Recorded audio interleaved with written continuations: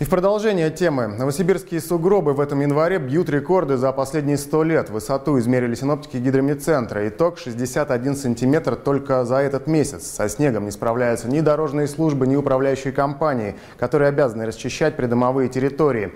Что делать, если сугробы во дворе достигли нескольких метров, выяснил Борис Киргинеков.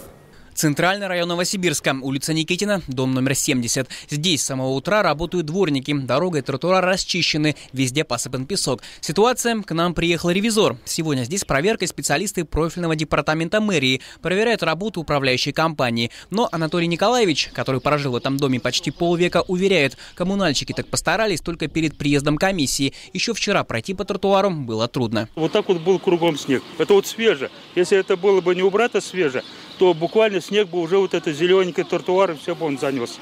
А так, ну, это уже наглядно видно, что это убрато только вчера, и тем более свежий песочек, ну, Постарались. Постарались. Было бы так, наверное, каждый день. Было бы спасибо тогда сказано. Коммунальщики говорят, осадков выпало втрое больше по сравнению с прошлым годом. Чтобы очистить дворы, необходимо оплачивать дополнительные часы работы водителей уборочной техники. Это отразится в счетах жильцов за оплату коммуналки. На это люди согласны. А вот на вывоз снега нет. Поэтому под окнами домов вырастают гигантские сугробы. Но не все управляющие компании качественно выполняют свою работу. Нарушений десятки. За эту неделю, значит, я уже сделала 16 выездов в управляющей компании. Составлено 16 актов, осмотрено 115 домов. На 115 домах выявлено 103 замечания. Сейчас на оформлении протоколы. То есть получается почти 90 с лишним процентов?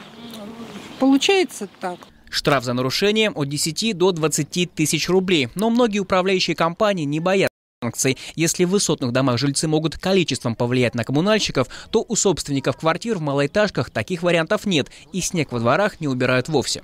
А вот дом двумя кварталами ниже того, где сегодня работают управляющие компании, проверяли сотрудники мэрии. Улица Декабристов, дом номер 105. Вместо детской площадки горы снега. Здесь малыши могут разве что снеговика слепить. Подходы к дому не широкие тротуары, а узкие тропинки. Шаг влево, шаг вправо, и ты провалился в снег.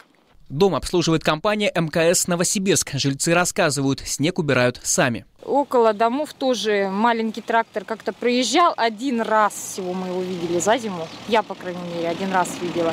Потому что перед э, подъездами наваливают снег, который не всегда убирает. Зачастую приходится самой его разгребать, чтобы элементарно из дома выйти. Чтобы пожаловаться на работу управляющей компании, необходимо оставить претензию в муниципальной жилищной инспекции. Телефон 228 88 04. Борис Киргенеков, Алексей Зубила. Новости ОТС.